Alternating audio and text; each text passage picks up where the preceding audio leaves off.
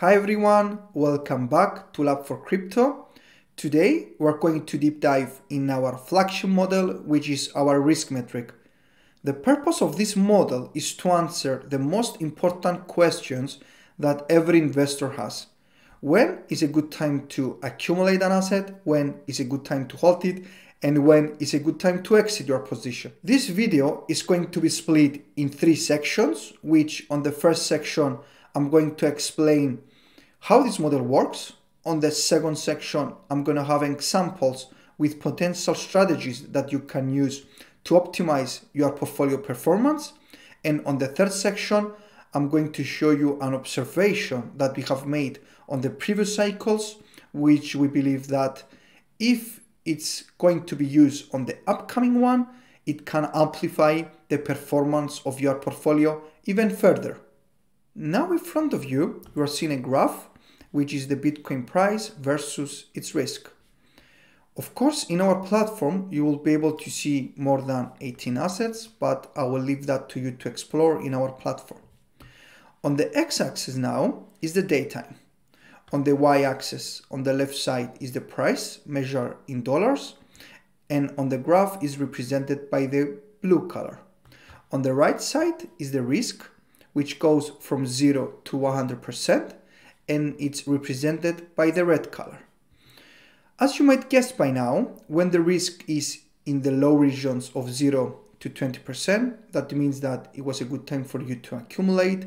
And when the risk was between 80 to 100%, the risk is too high and it's a good time for you to exit your position.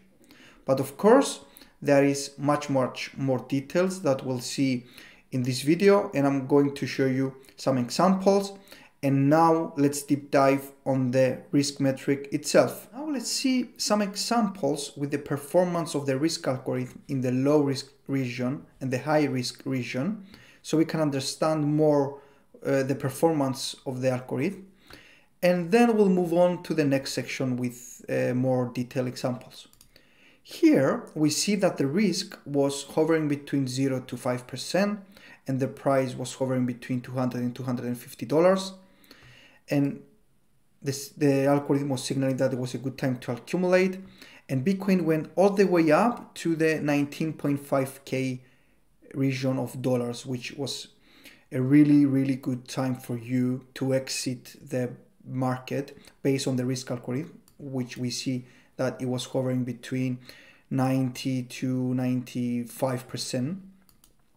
And if you have done that we see that Bitcoin dropped from the 19.5k that we saw before all the way down to the 3.5, 3.4k region. And again, the algorithm here was signaling that it's a good time for you to accumulate Bitcoin at the 3.5k uh, region. And if you done that, the Bitcoin again went all the way up to the 50 57.5k. And we see that the risk algorithm here again was signaling that it's a good time for you to exit as the risk was 99.86%. And if you, again, if you have done that, and the uniqueness of the algorithm here, because it's the maybe the only one that we are aware of that managed to get the double peak on the Bitcoin price on the last cycle, and we can see that it, it signaled that 57.5 was a good time for you to start exiting the market. And although the price was hovering between this region for two or three weeks, we see that the Bitcoin price in the summer dropped all the way uh, all the way down to 29.7k. And again, here the risk went to 42%, which was in some examples that I will show you on the next section can someone considering an accumulation zone, but with different dynamics. And it went all the way up to 66K, which again, the algorithm was uh, signaling that is a good time for you to start exit your position. And before we go to the the calculation and how this metric is measuring this risk number, I want to show you an example of the performance of the algorithm when the FTX crash occur. Because when the FTX crash happened, you want something at least to signal that something is off, which is not dependent only on the price, and I will explain. Now let's move to the FTX token, which you can find it with the ticker FTT. And here we have this information in our platform for educational purposes, so you can explore the dynamics and the helpfulness of this algorithm. Here, as expected on the low risk region, the price of the FTX token was $1.2. It went all the way up to the $40 region, then all the way down to the 24, and then again on the second peak on the 73, 74 dollars. And the algorithm was signaling that's a good time for you to exit. And here is something that we saw also on the Bitcoin example before. Here, when you see the peak, it was the day that the FTX filed for bankruptcy. And as you imagine, the price of the token plummeted. The important thing here to note is that the risk was dropping alongside the price as expected on the bear market. But here, let's see the last couple of months before the crash. Here the price was $29 and the risk was 2.5%, so that means that it's a good time to accumulate the token if you want. But we see a day after, the algorithm jumped to the 72.3% risk and the price barely moved if you see. And here's the uniqueness of the calculation of this risk metric. And I will explain. But here, the important thing to note is that three months before the crash, the algorithm was signaling that something was off on the FTT token and it was a time for you to start exit. And the uniqueness of the algorithm here that we use is that for the first time you will have an algorithm which, com which combines the off-chain data and the on-chain data. The off-chain data is something that is used on the traditional markets, which is the price, which is the volume, is the volatility, nothing, um, nothing uh, amazing here. But the on-chain data is something new. It's something that you can only find in the blockchain ecosystem.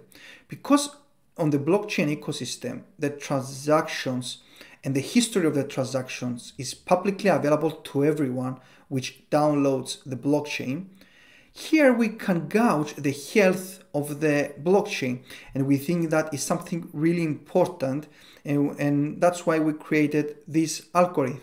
For example, if we go to the active addresses here, every day we can see how many people are using the blockchain of Bitcoin, for example. How many new addresses, which is really important to know how many new people are entering the market. Here is the total addresses. Here is the cumulative number of all the addresses seen at least one time in the, in the Bitcoin ecosystem. And you can see is in an uptrend which is really important. Then moving to addresses balances, you can find, okay, how many people own more than 0.01 Bitcoin? How many people own one Bitcoin and above? And you can see that this number is again in an uptrend, which is really important because you are seeing that people are continue to accumulate the asset. And by using and combining the on-chain data and the off-chain data, you can create the risk algorithm. The exact calculation of the, um, of the risk metric is not publicly available, but the data and the daily values of more than 18 assets, all our members will be able to see the values each day and gauge where the market is going and be prepared when something is going off like the FTX result. Note that the reason that we said that these data are updated daily is because that we are using the closing data of the off-chain and the on-chain data to create and calculate the risk values each day. And in addition to that, you can of course check all the historical values in our platform of all the assets that you care in the table below, but also in the graph. Now let's move to the second section, which is the examples of potential strategies that you can use to optimize your portfolio performance. This is the first example that I will show you, but always know that nothing can be considered a financial advice from these examples. It's just me showing you some potential ways that you can optimize your portfolio performance. But always know that you have to tailor your portfolio based on your risk tolerance. Let's move to the interesting part. On the x-axis again is the date. On the right y-axis is the risk that goes from 0 to 100%. And on the left y-axis is the price of Bitcoin in logarithmic scale that goes from 0 to the maximum price that Bitcoin reached. The red line is the risk and the blue line is the price. The green color numbers illustrate the accumulation region which ranges from 0 to 50% and from 50% to 100% risk, the exit region. I will explain in a bit what that numbers are. I believe most people in the crypto industry are familiar with the word dollar cost average or DCA, which is a strategy in which one sets a fixed buy or sell amount in a fixed interval. An example of this strategy is to set a buy order for 50 euros or dollars of any asset each month without caring if the price of the asset goes up or down. Personally, I'm not a fan of this strategy as I prefer a more dynamic variations of DCA that I will show you using the examples that I have prepared. The risk y-axis is split into bands of 10% increments, and in each band one can make dynamic decisions. For example, imagine that each week I check the Bitcoin risk, and when it's between 40 to 50%, I accumulate a present amount, for example, 50 euros or dollars worth of Bitcoin. When the risk drops between 30 to 40%, I scale up this amount by a factor of 2. With the same idea, when the risk is between 20 to 30%, I scale up the initial amount by a factor of 3 and the accumulation amount became 150 euros, which is 3 times 50. As the risk continues to go towards zero, the accumulation amount increases linearly. And as you can see, between 0 to 20% risk, most of the accumulation occurred. That's why I call it a dynamic strategy, as the accumulation amount changes based on risk. And historically, this strategy has been great.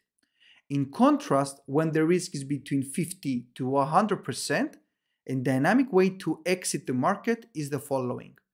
Imagine you own one Bitcoin, and as the risk increases, you want to exit the market using the risk metric.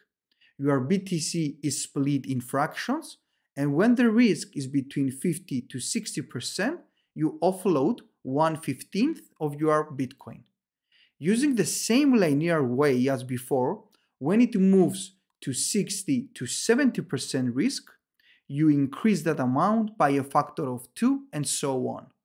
Again, the important piece of information is that using this dynamic way, 9 fifteenths of your BTC was offloaded when the risk was between 80 to 100%. Of course, depending on your risk tolerance, instead of using this linear method, you can use various other ways to enter and exit the market, such as an exponential way. Furthermore, you can split the bands in asymmetric ways with different split increments, such as the following examples. In this slide, the bands are split in 10% increments as before, but a hold region is introduced. One can say that I will accumulate heavily when the risk is low, between 0 to 20% risk.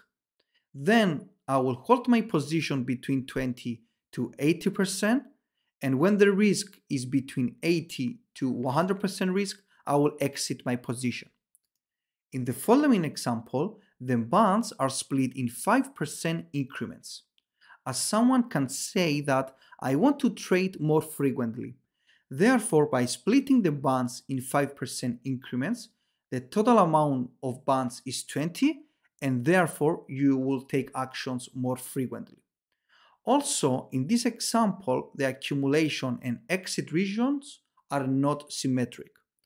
Between 0 to 35% is the accumulation zone, and between 35 to 100% is the exit region. Moving to the next example, imagine that someone believes more in a project and therefore sets the dynamic accumulation zone between 0 to 65% risk, whereas the exit zones are between 65 to 100% risk. The last slide introduces a hold region between 30 to 60% risk. The accumulation region is between 0 to 30% and the exit region between 60 to 100%. As stated before, you can tailor your strategy and your capital allocation based on your risk tolerance, as there are infinite ways that you can adjust your hold, exit, and accumulation zones. But hopefully, I managed to convey the idea behind the dynamic portfolio optimization using the risk metric. Let's move to the next section, which I call portfolio amplification. It's an observation that we have made from the previous cycles and it's worth checking out as it can amplify your portfolio performance even further. Now let's see the observation that we have made on the previous cycles. The red line represents the Bitcoin risk and the purple line the Ethereum risk. Again, on the y-axis on the right side is the risk which goes from 0 to 100. And here we are observing that the red line came first and then the purple line. And the same thing happened to the bull run of 2021. Bitcoin reached a peak in February 2021 and Ethereum peaked in May 2021. So someone how someone can use this observation Let's see that with numbers. Bitcoin price was on the peak was 57, 55k and Ethereum price, if we click it, it was 1.9, 1.7k. So someone, instead of offloading the amount of uh, Bitcoin that wants to offload to stable coins, it can offload some to altcoins. As Although in this example we are seeing Ethereum, most of the altcoins have shown the same behavior. And therefore, you can optimize your performance by instead of offloading your allocation from Bitcoin to stable coins to offload, for, to offload from Bitcoin to altcoins. And for the sake of the example, if you moved your mm, Bitcoin from Bitcoin instead of stablecoins to Ethereum. And Ethereum here at the 22nd of February was 1.7k. When Ethereum peaked and the price was 4k, you have managed to double your portfolio performance.